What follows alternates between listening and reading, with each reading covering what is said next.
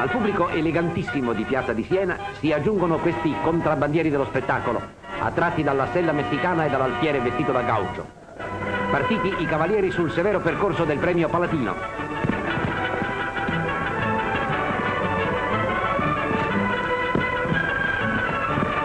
Piero Dinzeo fa onore al proprio stile di fronte a Yolanda di Bergolo, appassionata intenditrice. Non per la signorina Mailleux, amazzone belga, fremono queste spettatrici, ma per Flora, il cavallo tedesco che ha riportato una frattura. Dorget è graffiato ma splendidamente vittorioso.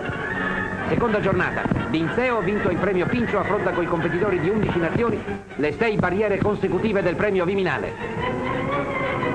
Arlequin di Dorget alla prima rifiuta, poi si riscatta. Ma sul pennone salgono i colori argentini. E Marras premia il maggiore Sagasta, splendido saltatore su un cavallo dal nome che è tutto un programma, Canguro.